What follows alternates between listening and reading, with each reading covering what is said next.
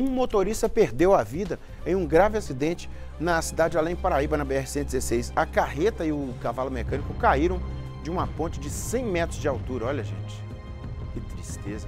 Socorristas da cidade de Sapucaia, no Rio de Janeiro, eh, e de Além Paraíba atenderam a, a ocorrência. Né?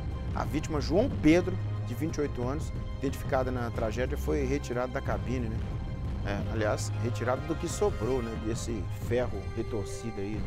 O caminhoneiro morreu no local do acidente. Gente, não tinha como, cabine toda amassada, como é que não morre, né? O container da carreta estava vazio. Né?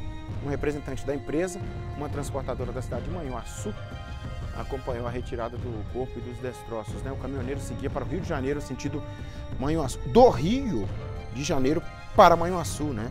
Ele perdeu o controle da direção e caiu no abismo. Né?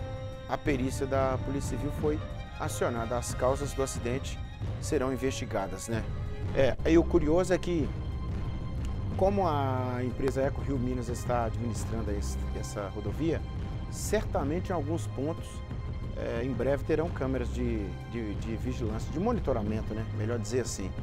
Somente câmera para mostrar o que aconteceu, né? Porque no caso aí o motorista perdeu a vida, como é que ele vai dizer o que aconteceu, né? Hipoteticamente ele teria perdido o controle do carro, né? Mas Vai que atravessou alguém na frente dele, não sabe.